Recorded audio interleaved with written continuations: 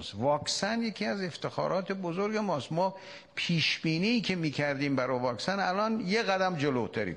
علا رغم این که خب اونایی که می‌خواستن واکسن به ما بفروشن به ما بدن به دلایل مختلف. حالا نشد به زمان به موقع به ما بدن. کوواکس مثلا خیلی تخلف کرد. به موقع به ما نداد. ما در دادن ارز و پول و اینها یه مشکلاتی داشتیم. اما در این حال امروز شما می‌بینید که در کل ما جلویم. ما قرار ما این بود تا پایان این دولت 65 ساله ها را و اونهایی که بیماری های زمینه ای دارند واکسینه بشن. الان از 65 بحث 55 هست الان.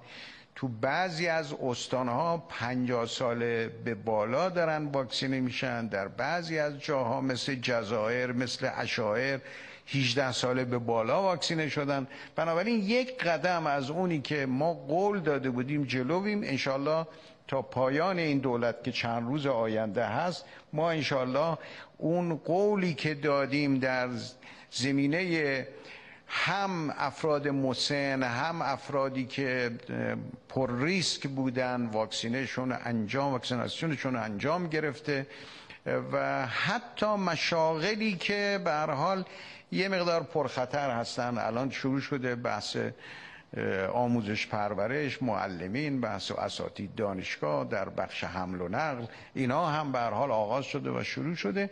انشالله این روند ادامه پیدا می‌کنه و من خوشحالم در کنار واکسن خارجی که الان به وفور داره کم کم در اختیار ما قرار می‌گیره واکسن داخلی ما هم انشالله داره به وفور به بازار میاد و در اصل تزریق قرار